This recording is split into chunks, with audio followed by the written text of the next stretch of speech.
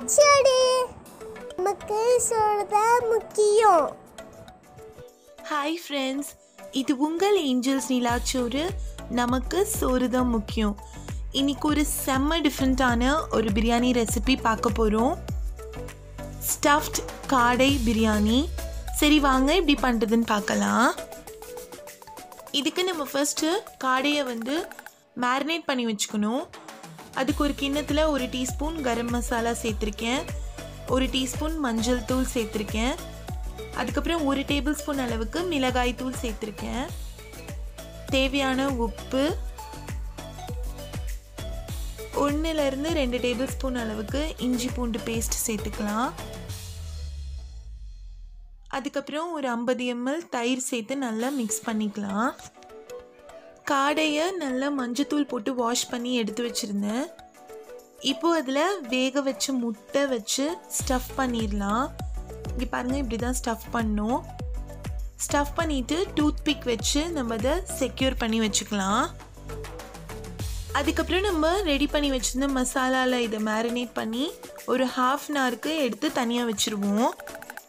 காடை முட்டை கிடைச்சா அதில் கூட நீங்கள் ஸ்டஃப் பண்ணி வச்சுக்கலாம். பட் இன்றைக்கி எனக்கு கிடைக்கல. அதனால நார்மல் எக் தான் யூஸ் பண்ணியிருக்கேன். இதுக்கப்புறம் ஒரு ப்ரெஷர் பேனில் ரெண்டு டேபிள் ஸ்பூன் எண்ணெய் அப்புறம் ஒரு ஐம்பது எம்எல்க்கு நெய் சேர்த்துருந்தேன். அதில் பட்டை கிராம்பு ஏலக்காய் கல்பாசிப்பூ பிரியாணி இலை சேர்த்து பொரிஞ்சதுக்கப்புறம் இரநூறு பெரிய வெங்காயம் சேர்த்து அதையும் நல்லா வதக்கிடுவோம் வெங்காயம் கோல்டன் கலராக மாறினதுக்கப்புறம் ரெண்டு பச்சை மிளகாய் அப்புறம் ஒரு கைப்பிடி புதினா கொத்தமல்லி சேர்த்துக்கலாம். அதை ஒரு ரெண்டு நிமிஷம் பக்கம் நம்ம நல்லா வதக்கிடுவோம். இதுக்கப்புறம் நல்ல பழமாக இருக்க மூணு பெரிய தக்காளி பழத்தை கட் பண்ணி சேர்த்துருவோம். அது நல்லா மசிஞ்சு வெந்து வந்ததுக்கப்புறம் நூறு கிராம் அளவுக்கு இஞ்சி பூண்டு பேஸ்ட் நம்ம சேர்த்து அதில் பச்சை வாசனை போகிற வரைக்கும் நல்லா வதக்கிக்கலாம். இதுக்கப்புறம் நம்ம எல்லா மசாலாவும் சேர்த்துக்கணும். நான் இதில் ஒரு டேபிள் ஸ்பூன் அளவுக்கு மிளகாய் தூள் ஒரு டீஸ்பூன் மஞ்சள் தூள் அப்புறம் ரெண்டு டேபிள் ஸ்பூன் அளவுக்கு பிரியாணி மசாலா. நான் ஏற்கனவே பிரியாணி வீடியோவில் இந்த மசாலா எப்படி அரைக்கணும்னு சொல்லியிருக்கேன். அந்த லிங்க் நான் உங்களுக்கு டிஸ்கிரிப்ஷனில் கொடுத்துட்றேன். செக் பண்ணிக்கோங்க. இதுக்கப்புறம் ஒரு டீஸ்பூன் அளவுக்கு மிளகு தூள் சேர்த்து நம்ம நல்லா வதக்கிக்கலாம். இந்த பிரியாணி எப்போதும் செய்கிற மாதிரி இல்லாமல் கொஞ்சம் டிஃப்ரெண்ட்டாக இருக்கும். நான் பிரியாணியை ரொம்ப டிஃப்ரெண்ட்டாக ப்ரெசென்ட் பண்ணணுன்னு ரொம்ப யோசித்து இந்த ரெசிபி வந்து நானாக வந்து ட்ரை பண்ணது. இதுக்கப்புறம் நூறு எம்எல் தயிர் சேர்த்துக்கலாம். அதை ஒரு ரெண்டு நிமிஷம் பக்கம் வதக்குனதுக்கப்புறம் நம்ம தேவையான உப்பு சேர்த்துட்டு ஒரு டம்ளர் அரிசிக்கு ரெண்டு டம்ளர் தண்ணி சேர்த்துருவோம். நான் ஜீரக சம்பா அரிசி ஒரு கிலோ எடுத்திருந்தேன். அது நல்லா வாஷ் பண்ணி ஒரு இருபது நிமிஷம் பக்கம் ஊற வச்சுருந்தேன்.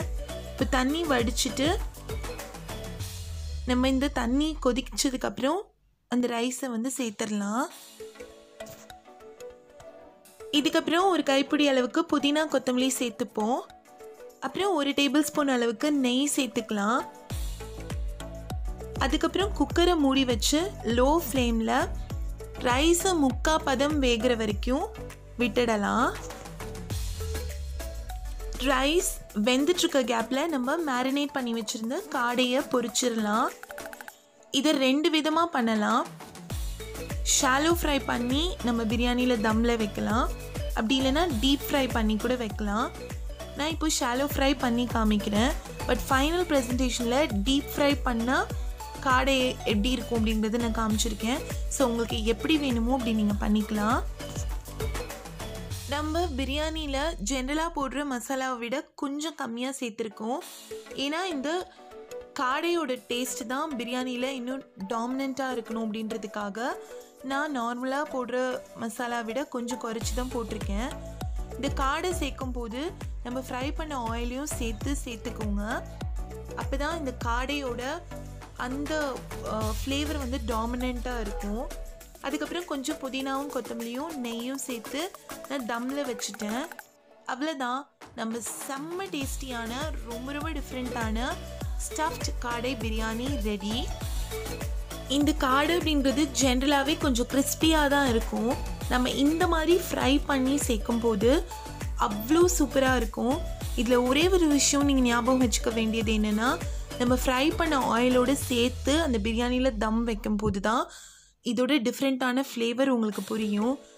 இது செம்ம டேஸ்டியாக இருக்கும். இந்த மாதிரி ஒரு தடவை கண்டிப்பாக ட்ரை பண்ணுங்கள் இந்த மாதிரி நிறைய டிஃப்ரெண்ட்டான ரெசிபீஸ் உங்களுக்கு பார்க்கணுன்னா கண்டிப்பாக நம்ம சேனலை சப்ஸ்கிரைப் பண்ணிக்கோங்க. அண்ட் பக்கத்தில் இருக்க அந்த பெல் பட்டனை மறந்துடாதீங்க. இது உங்கள் ஏஞ்சல்ஸ் நிலாச்சோறு. நமக்கு சோறு தான் முக்கியம். Stay tuned thank you